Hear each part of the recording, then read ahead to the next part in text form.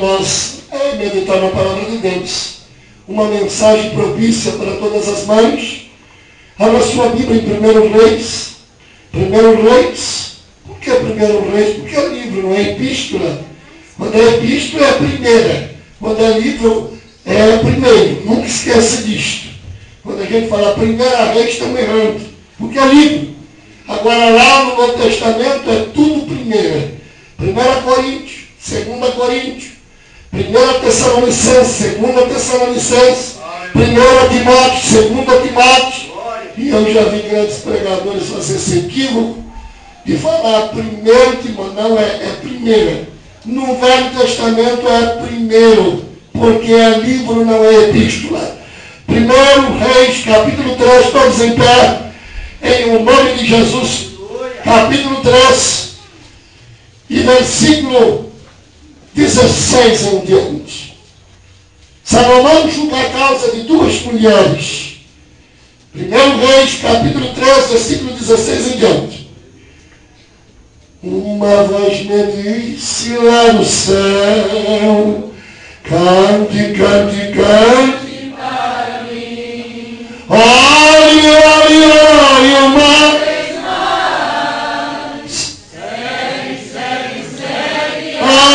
Após mim, venha ser até a morte. Eu serei contigo até o fim. Logo estarás ali, onde tens para ti.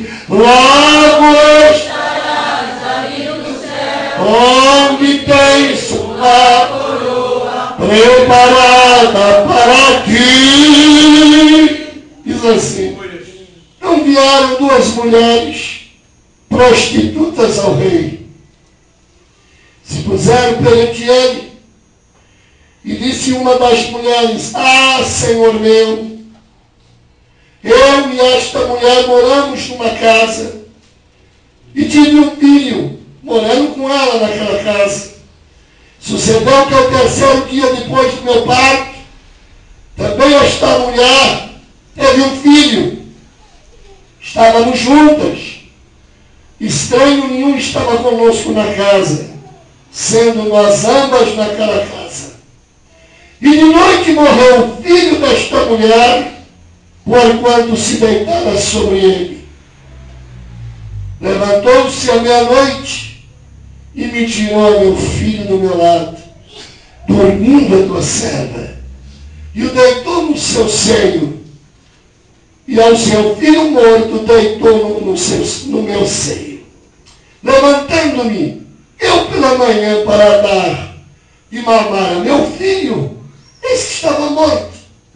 Mas atentando pela manhã para ele, eis que não era o filho que eu havia tido. Então disse a outra mulher, não, mas o filho é meu filho, e teu filho morto. Não por certo, morto é teu filho, e meu filho vivo. Assim falaram perante o rei. Então disse o rei, esta diz, este vivo este filho é meu filho, e teu filho morto. E outra diz, não por certo, o morto é teu filho e meu filho vivo. Disse mais o rei, traz-me uma espada. E trouxeram uma espada diante do rei.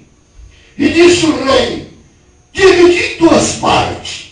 O menino vivo e dá em metade a uma e metade a outra. Mas a mulher cujo filho era o vivo, falou ao rei, porque as suas entranhas se lhe interneceram pelo seu filho. E disse, ah, Senhor meu, está aí um menino vivo, e por modo nenhum madeis. Porque a outra dizia, nem meu, seja, dividiu assim. Então respondendo o rei disse, dai a este menino vivo, e de maneira nenhuma mateis, porque esta é a sua mãe. Todo Israel ouviu a sentença que que deram o rei e temeu ao rei, porque viram que havia nele a sabedoria de Deus para fazer justiça. Diga, Senhor Jesus, fala no meu coração. Pode sentar. Aleluia. Diga comigo isso que é a sabedoria de Deus. Que acontecimento trágico. Que acontecimento terrível. E a Bíblia Sagrada nos informa que essas duas mulheres não tinham moral nenhuma. Essas duas mulheres, pela lei de Moisés, tinham de morrer. Porque ela era, elas eram prostitutas. Essas mulheres não tinham moral. Essas mulheres eram desprezadas pela tradição, tanto de Deus como dos homens. E as duas conceberam e tiveram filhos. Prostituta também é mãe. Aqui nos informa que não eram mulheres de Deus. Não eram mulheres que tinham caráter. Eram prostitutas. Vejamos no versículo 17. E disse uma das mulheres: Ah, Senhor meu, eu e esta mulher moramos numa casa e tive um filho morando com ela naquela casa, as mulheres sabiam falar. Elas estavam diante do rei. Amados irmãos, Deus trouxe a Salomão um dom chamado dom da sabedoria. Os únicos dons do Espírito Santo que não é manifesto no Velho Testamento é o dom de línguas e a interpretação de língua. Porque os outros dons todos são manifestos no Velho Testamento. Naquela hora, Deus ia usar Salomão sabedoria. E esse dom está disponível nesta noite. Quem crê, quem crê e pedir, receberá de Deus. A sabedoria de Deus está para manifestar. Bendito seja o nome do Senhor. Quanto mais a vida é complicada, a sabedoria de Deus descomplica ela. A sabedoria de Deus é tremenda, meus queridos. E Salomão, meus amados irmãos, foi dotado com esse presente de Deus. E Deus pode dotar alguém aqui com esse maravilhoso dom. Quando que surgirem problemas horríveis e difíceis, esse dom vai se manifestar para fazer você sair desse problema o diabo pode fazer o mal que for. Quando esse dom se manifesta, Deus destrói o mal de Satanás e faz você sair vitorioso. Receba de Deus. Deus mostra por divina revelação que tem irmãos aqui que vai sair daqui com este dom precioso. O dom da sabedoria Toda sabedoria não é somente para pregar, mas ele se manifesta de várias maneiras, tudo para solucionar problemas. E Salomão aqui já estava cheio do Espírito de Deus, pois a sabedoria vem dele. Diga, sabedoria, vem do Espírito de Deus. E o Espírito de Deus está nesta noite aqui, se manifestando Olha quantas irmãs eu vejo estrela caindo sobre a sua cabeça. Deus vai te dar sabedoria para sair daquilo. Aleluia. Tem umas que Deus está dando dom, mas tem outras que Deus está dando sabedoria para sair daquele problema. Aleluia. Duas prostitutas foram ter o crente, nós cristãos, servos de Deus, pregadores, homens de Deus, nós não atendemos somente os crentes, não. Atendemos os incrédulos também. Olha aí, ó. Quem podia dizer, essas mulheres que morrer, leva elas para a morte. São prostitutas, são, são umas endemoniadas. Mas não. Ali se manifestou a glória de Deus através da sabedoria. E a glória de Deus, glória de Deus. está na sabedoria. E ela disse, nós moramos numa mesma casa e tivemos, eu tive um filho e ela também teve. Mas aconteceu que durante a noite uma delas se deitou sobre a criança. Esta era pesada e matou. Matou a criança. Terrível, não é não? Uma mãe deitar sobre uma criança. Meus queridos, é o peso do pecado. Que coisa terrível. Mas quando ela acordou e viu a criança morta, o diabo deu uma trapaça. Tenha certeza que toda trapaça é do diabo. A Bíblia não diz que o diabo estava aqui, mas eu já sinto o cheiro dele. Pois uma ideia era de pegar a criança viva da amiga e colocar morta sobre, sobre o seio, seio na é peito. É, e assim ela fez. Mas ela não sabia que a sabedoria de Deus ia descobrir um negócio. A sabedoria de Deus vai descobrir os negócios. Você crê, minha irmã? Deus vai te dar sabedoria no trabalho. Deus te dá sabedoria dentro do lar. Deus te dá sabedoria na tua vida espiritual. Deus, Deus está dando sabedoria aqui. Receba do alto. Mas a mãe verdadeira, para encurtar que nós não temos tempo, a mãe verdadeira sabe, sabe, mas sabe muito bem, pode pintar mil filhos de várias coisas, mas ela sabe qual é o dela. Aleluia! Aleluia! Quando ela acordou, isso aqui não, meu não. É. Ah, isso aqui não, meu não, é meu filho. A mãe sempre. Tu o irmão diz, a mãe, às vezes não tem dom de profecia, dom de revelação, dom de discernir mas ela tem um dom de Deus. E um dom chamado mãe. Ela olha para a filha, ela sabe o que vai acontecer. Ela sabe se a filha está bem ou não. Ela olha e diz assim, rapaz, não vai te fazer feliz. Pode acreditar. Porque se não acreditar, você vai azarar a tua vida. Quando a mãe olha e diz, ó, esse moço aí, ó, não é bom para você.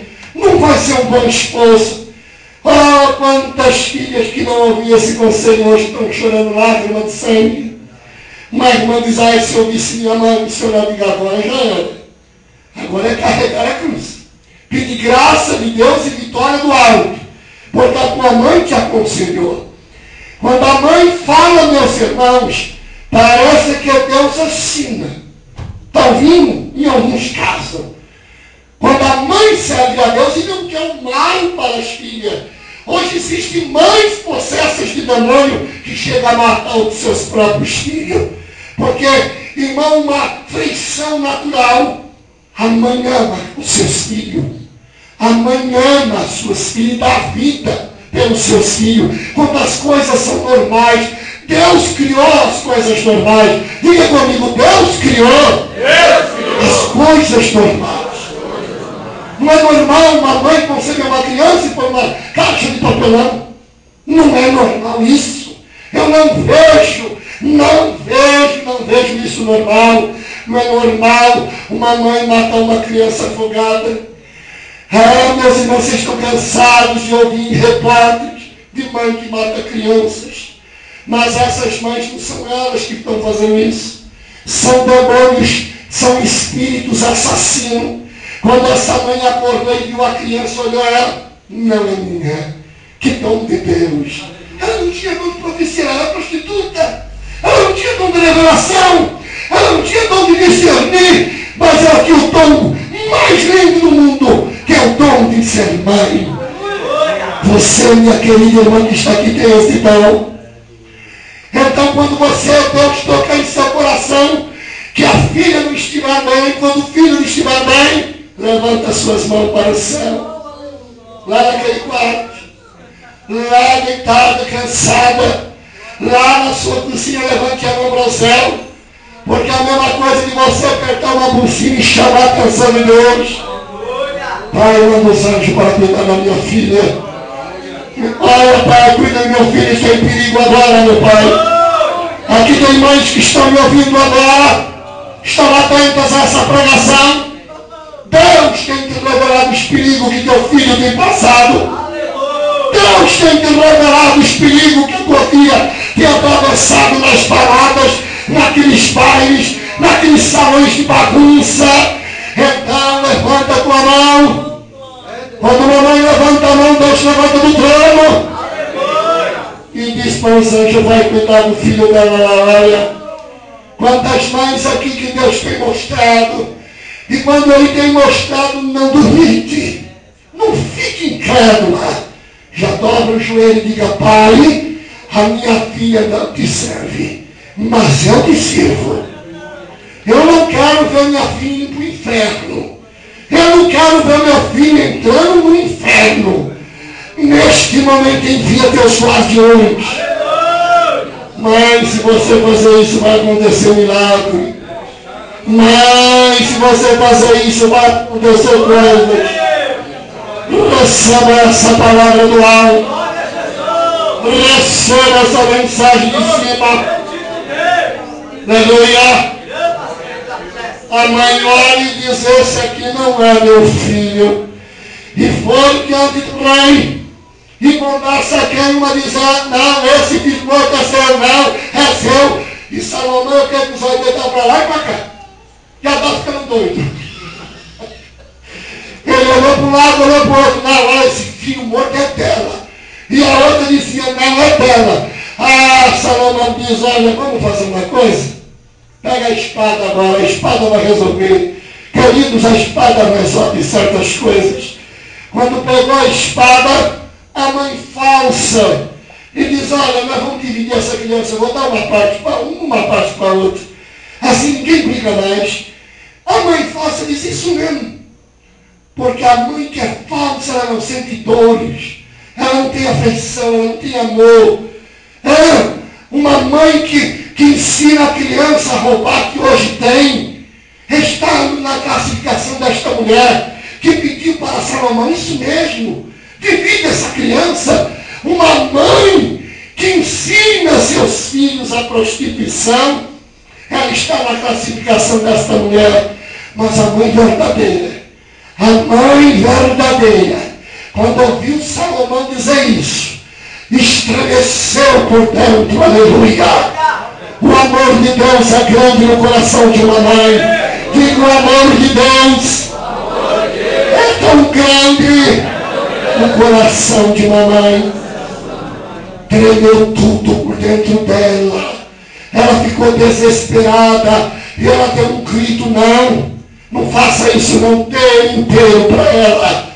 Ela que ela preferia perder o filho, mas jamais queria ver o filho morto. Me dizer lá feliz.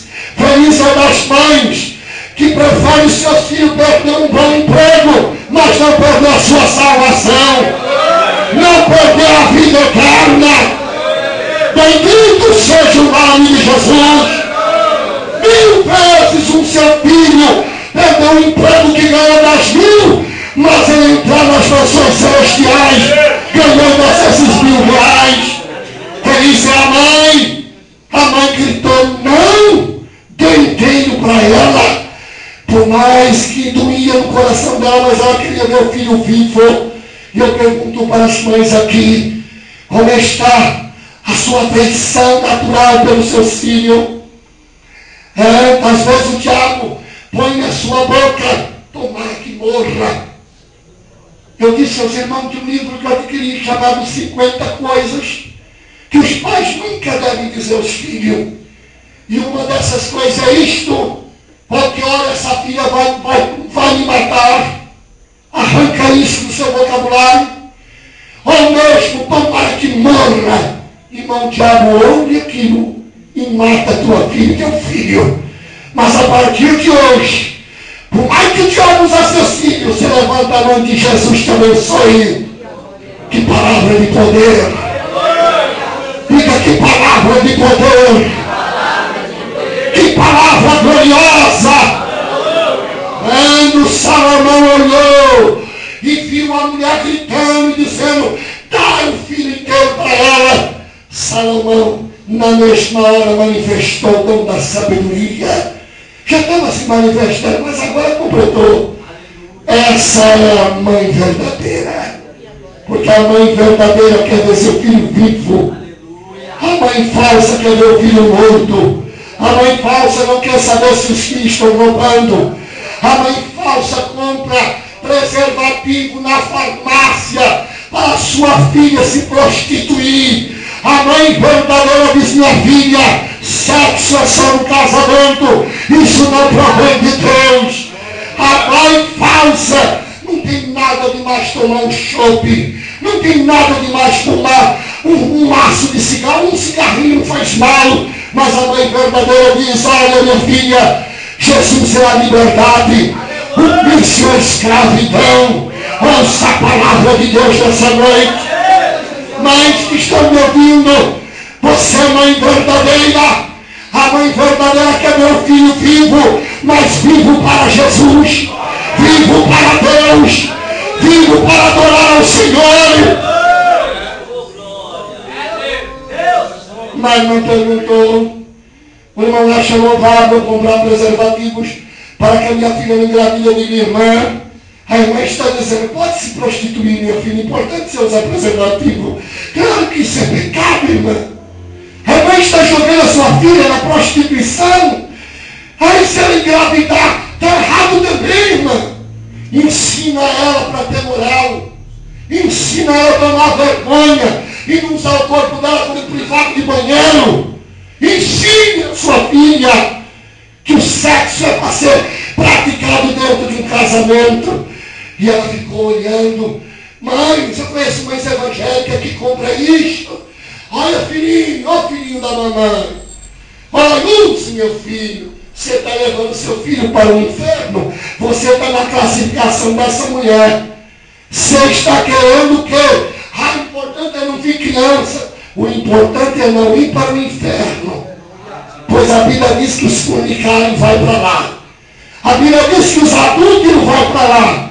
A verdadeira mãe cristã, ela não quer sua filha diplomada, ela não quer ver seu filho ganhando rios de dinheiro, ela quer ver sua filha salva por Jesus Cristo. Porque adianta o filho ser diplomado e está caminhando para o inferno. O que adianta um filho ou uma filha? Oh, meus irmãos, quantas mães! Porque o filho dá um carro para ela, dá um presente, dá até dinheiro. Apoia ser vergonhice do filho. Apoia ser vergonhice da filha. Essas mães vão chorar lágrimas de sangue. Mas feliz é essa que deu um grito bem alto. Entregue inteiro para ela. A mãe verdadeira quer ver o filho bem. Bem em todas as etapas da vida. Bem na vida conjugal. Mãe, eu estou me separando. Minha filha, não faça isso. Você tem que respeitar seu marido. Você tem que orar pela sua família. Você tem que carregar sua cruz porque você preferiu casar com ele. Eu te avisei. Você não ouviu meus conselhos. Mas eu não quero ter filha separada dentro da minha casa. Uma mãe serva de Deus. Eu estou falando de serva de Deus. Eu não estou falando de uma mãe comum. Uma mãe comum diz a verdade, minha filha. Ele, ele, é, minha filha é ordinário. Eu nunca fico a cara dele. É vagabundo, é sem vergonha. Isso mesmo, filha. Quando você vem para cá da mãe, tudo errado. Tudo errado. Essa mensagem está fazendo muitas irmãs perder sorriso nessa noite. Mas a verdade é essa que eu estou dizendo. A verdadeira mãe não quer que a sua filha fique separada. A verdadeira mãe fala, minha filha, levante uma oração. Faça campanha na igreja. Porque Deus vai transformar a tua casa e a tua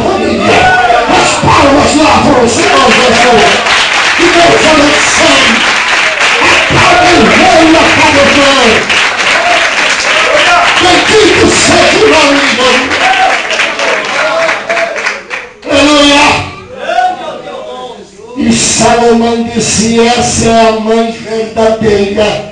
Entrega a criança para ela. Que Deus lindo, meus irmãos. Que Deus maravilhoso. E aquela que ia fazer trapaça ficou chupando dedo. Sempre quem faz trapaça fica chupando dedo. Queridos, crente trapaceiro não come rapadura não, fica roendo unha. Nunca esqueça disso.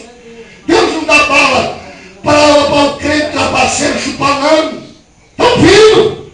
Aquela mulher diz, ah, eu vou enganar, mas Deus, Deus na onda. Ele é o juiz dos juízes. E a sabedoria que Deus está te dando e vai te dar. Vai resgatar aquela moça no abismo. Vai resgatar aquele filho que está no abismo. Deus vai te dar sabedoria. Você vai mudar de palavreado, de vocabulário. Porque eu vejo o Senhor mexendo para a tua vida nessa noite.